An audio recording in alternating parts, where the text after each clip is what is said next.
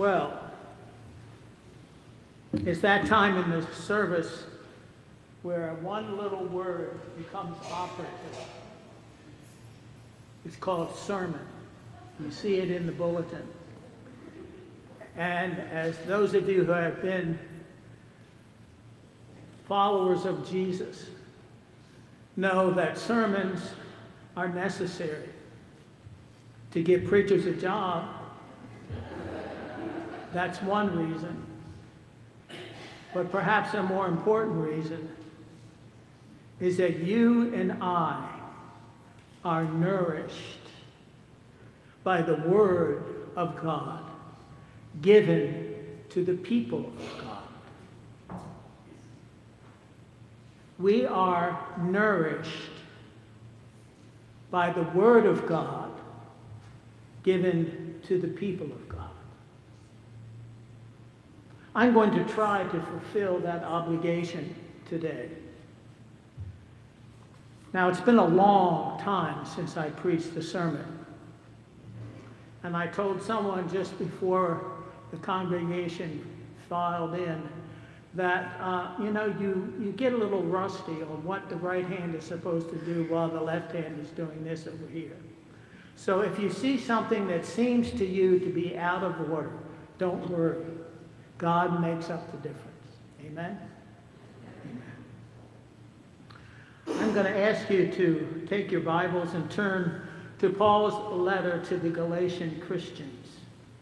It's an interesting letter, this letter to the Galatians, because Paul begins it in a very stern way. He looks out at the people and he says, Oh, foolish Galatians. Guess what? That's not a way that is going to enable you to win friends and influence people.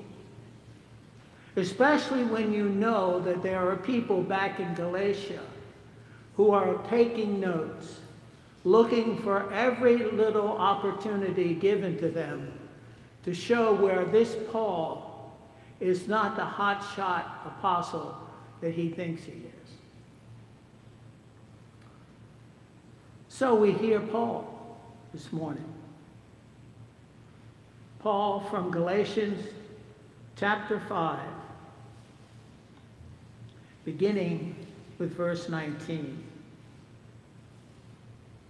Hear now the word of God. The acts of the flesh are obvious sexual immorality impurity and debauchery, idolatry and idolatry and witchcraft, hatred, discord, jealousy, fits of rage, selfish ambition, dissensions, factions, and envy, drunkenness, orgies, and the like. I warn you, as I did before, that those who live this way will not inherit the kingdom of God. But, you know, sometimes but is a, is a word that you can comfort yourself in. And this is one of those places. The fruit of the Spirit is love, joy, peace, forbearance, kindness, goodness, faithfulness, gentleness, and self-control. Against such things as these, there is no law. Those who belong to Christ Jesus have crucified the flesh with its passions and desires. Since we live by the Spirit, let us keep in step with the Spirit. Let us not become conceited, provoking and envying each other.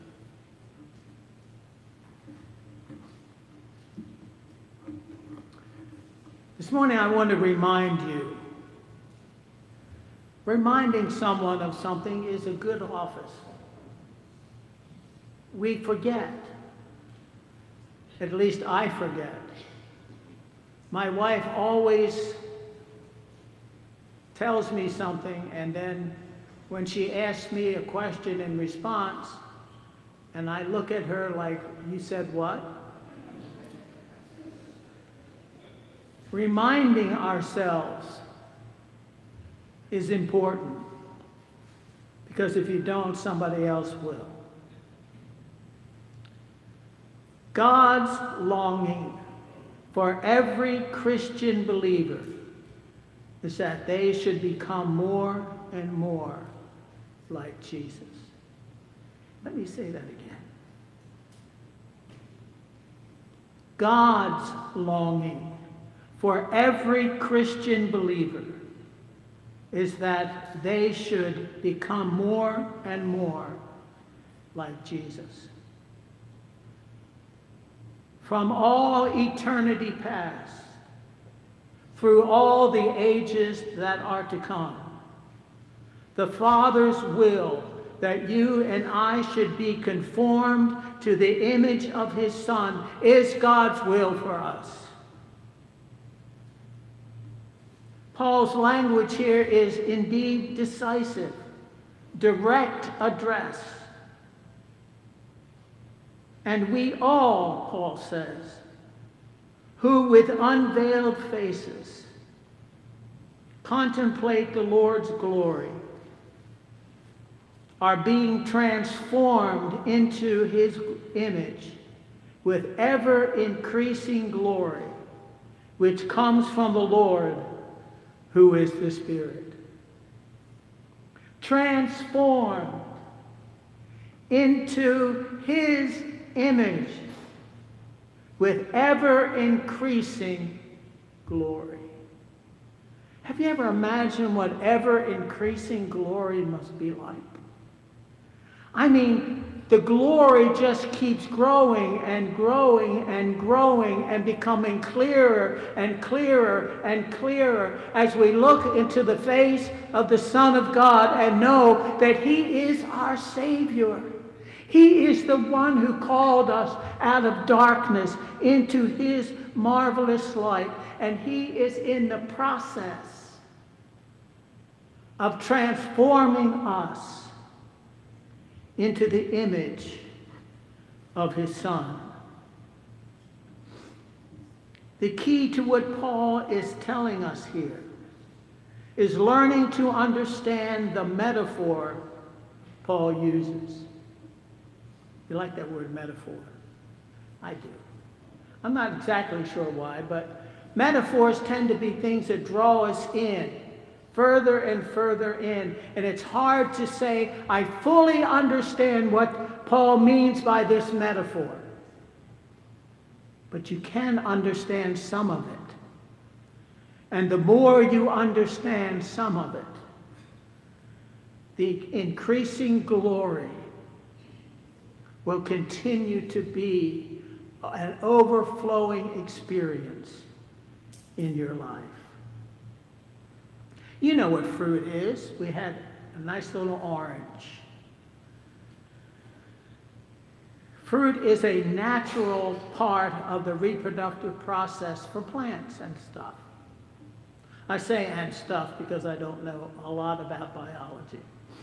But let's just say and stuff. Fruit is the natural product, not of dying, but of living, of life itself.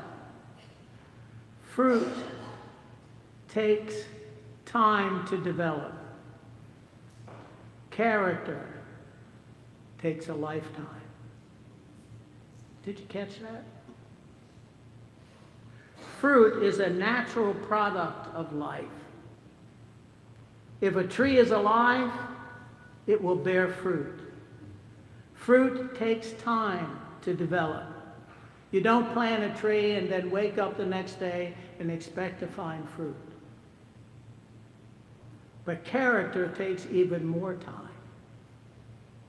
In fact, character takes a lifetime. Dear friends, the Apostle John says, now we are children of God, and what we will be has not yet been made known. But we know that when Christ appears, we shall be like him, for we shall see him as he is. I like that. There are some things we don't know what we shall be, but there are some things we do know that we shall be like him because we shall see him face to face. Here are some of the characteristic qualities that the Holy Spirit will produce, like fruit, in your life as He lives within you love, joy, peace, patience, kindness, goodness, faithfulness, gentleness, and self control. The kind of life described in these words of, Paul, of Paul's is not a matter of law keeping. This kind of Christ like character does not come from submitting to a code of laws, but from submitting to a person, Christ Jesus our Lord.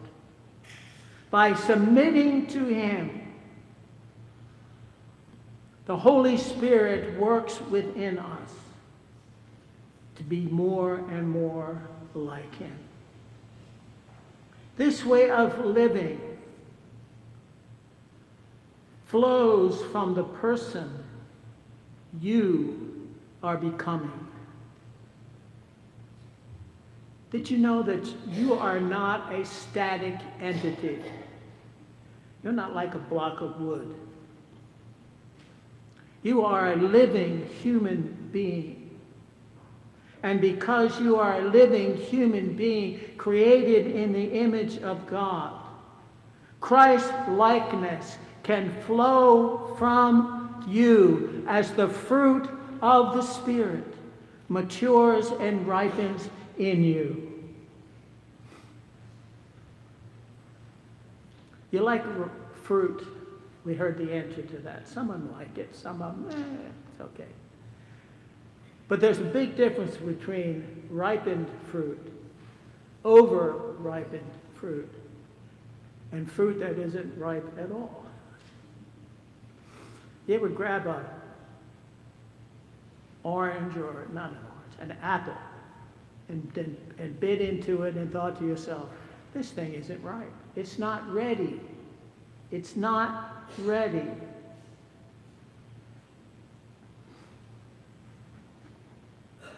The word fruit that Paul uses here has a surprise in store for you who understand it.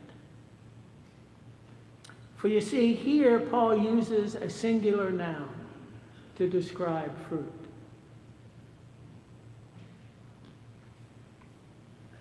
Where one would expect to find a plural noun, we find in Paul a singular noun.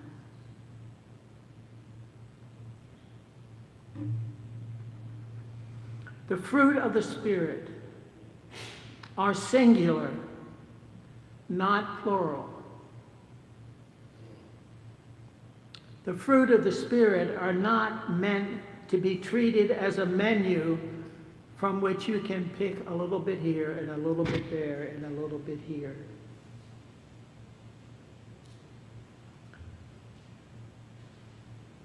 The fruit of the Spirit are a character package. Unlike the gifts of the Spirit, which are distributed by the Spirit to the body of Christ, to the people of God, the fruit of the Spirit grows all together within a Christian's life. All the pieces of the one fruit working together in unity, strengthening each other. Sounds a little bit like living in community, doesn't it? Aren't, haven't we told each other for, since the mid 1970s that one of the aspects of the Church of Jesus Christ is that we are together in this. It is not simply one against another. It is, we are all in this together. We are living in communally. And suddenly, the metaphor of fruit that Paul has been using from the beginning of this fifth chapter begins to fade. Because Paul wants the congregation in Galatia to understand the world in which they live and why these particular fruit of the Spirit are essential for the life of the people of God. If you don't have these or this fruit, then the church will die. And the people of God and the message of salvation will become dim.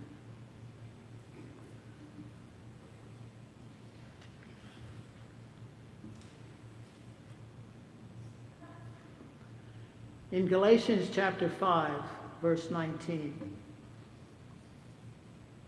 Paul writes, The acts of the sinful flesh are obvious.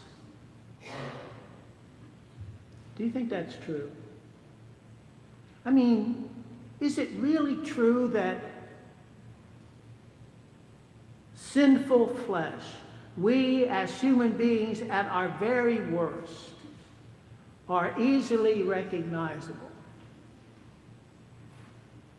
We live in an age when we have been taught from the time we were in school that it's that you know right and wrong is a matter of opinion what you like what someone else likes and here Paul is about ready to describe the character of the age in which he lives. And he is saying to you, listen, look. Because if you don't listen and you don't look, you're going to be deceived. Because sinful flesh is at war with the Spirit of God and the Spirit of God at war with sinful flesh. This is not neutral ground that we are standing on, my friends. This is blood bought ground. Our Lord Jesus died and rose again so we could declare this ground as holy ground. Let me sketch that for you. The acts of sinful flesh are obvious sexual immorality, impurity, and debauchery, idolatry, rich witchcraft, hatred, discord, jealousy, fits of rage, selfish ambition, dissensions, envy, drunkenness, orgies, and the like. That and the like is to tell you that I could make the list longer, but I'm not. You got it, right?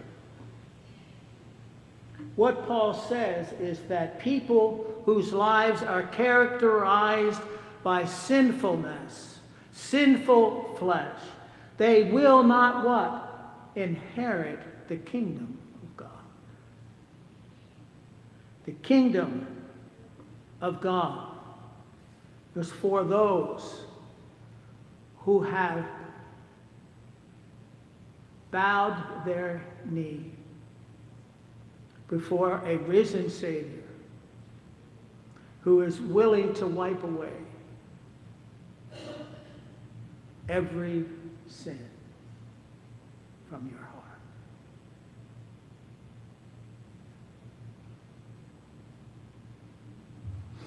Again, this these are strong words of Paul's. Paul writes in the past tense because he wants the Christians in Galatia to understand that having crucified sinful flesh is an act that every Christian is engaged in.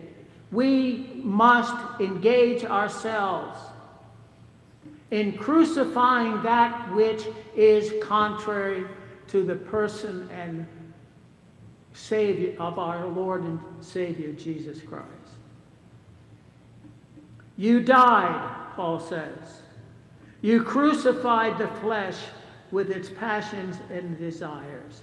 Now walk in the Spirit.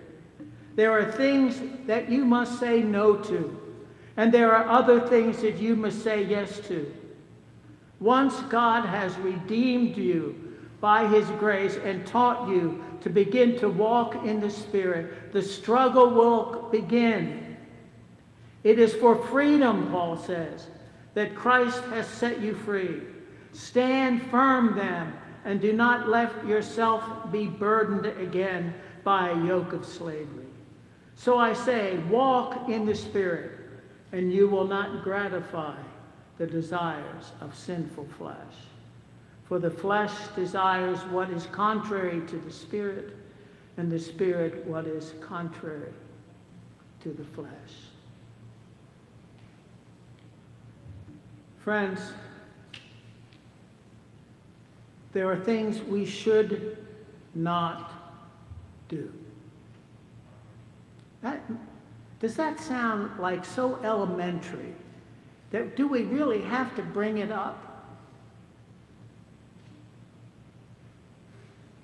But in our age, we have to hold on to that truth with both hands.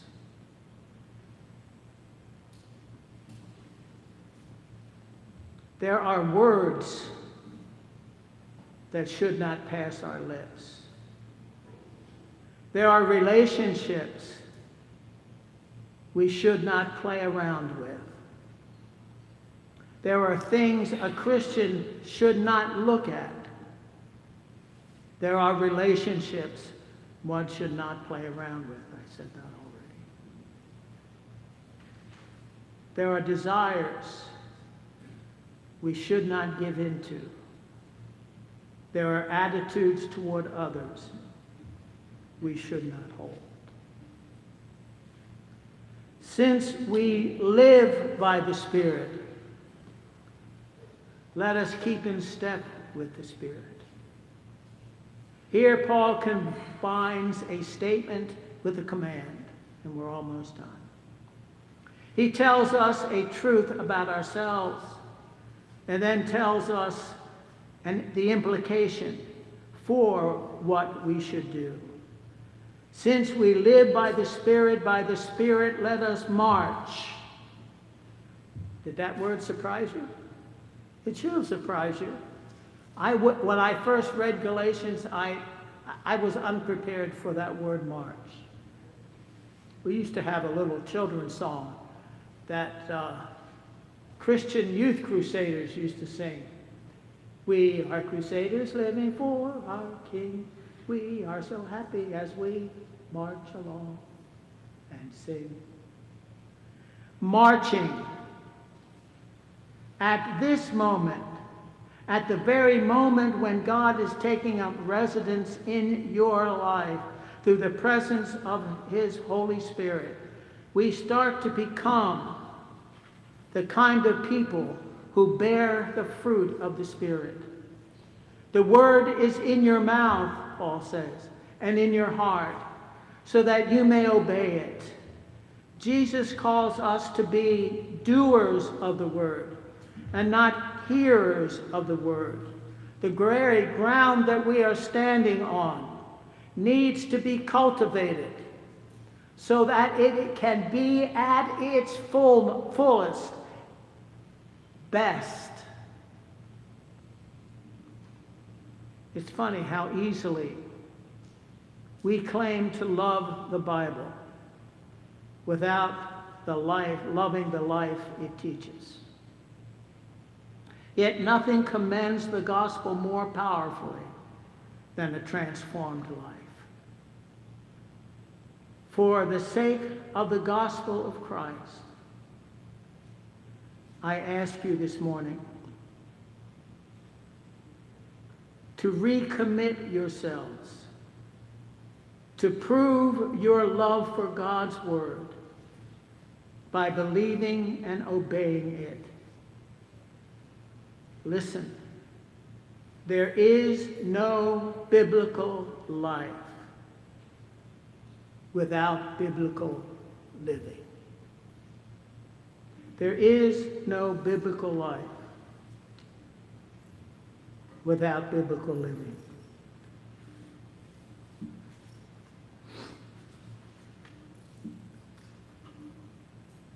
There's a little song in your bulletin. I asked Tommy if we could include it in our worship this morning.